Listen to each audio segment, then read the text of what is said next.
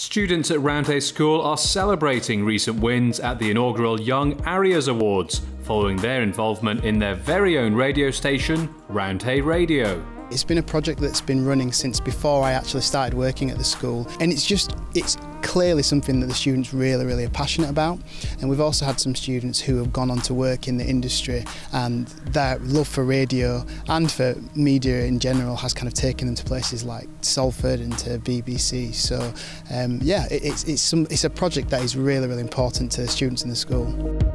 What was your kind of reaction when you first sort of uh, headed in here?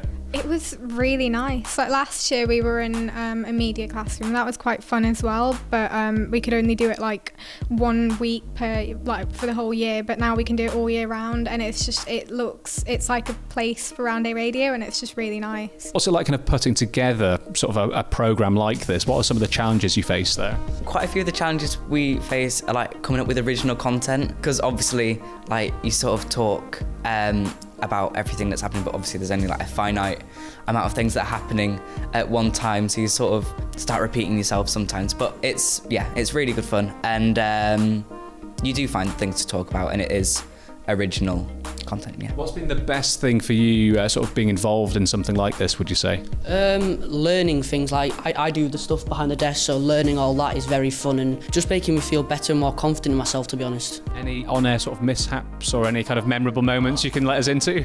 um, well, I struggled to read at one point, so um, I couldn't pronounce what, what was I pronouncing? I can't remember what I was pronouncing. Rocking Gibraltar. Rocking Gibraltar, something yeah. like that, and I couldn't pronounce it. So I was just like on there, just froze. I was like, what am I meant to do? so then everyone was laughing. It kind of joked off, and then the next song I played the same song once again, like that I'd played a minute before, and we're just thinking it couldn't get much worse than that. So it was quite fun to, funny to be honest.